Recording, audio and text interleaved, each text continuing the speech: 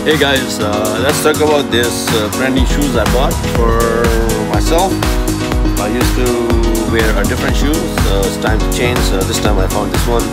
Uh, I went to the Runner Haven after a year and a half and I asked them that, you know, I need a, a new pair of shoe and then they came up with all the time I go and try different shoes whichever I feel comfortable and this time I decided to go with the Hoka I did not know it's my first time ever and this is Hoka One One. Uh, I even did not know how to pronounce the name until I watched it online and I was saying Hoka one one but it's Hoka One One.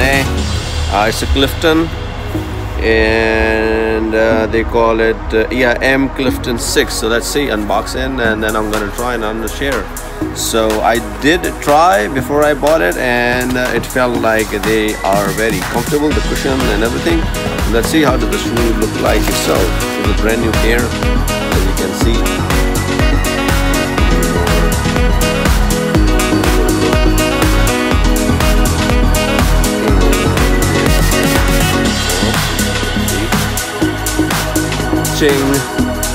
uh, the cushion on the top, uh, the sole itself, and from inside as you can see.